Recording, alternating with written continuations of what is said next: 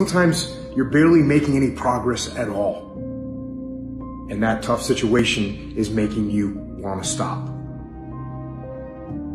And what you eventually learn is you can't stop. When you're going through tough situations, you got to take that next step. You got to keep moving forward.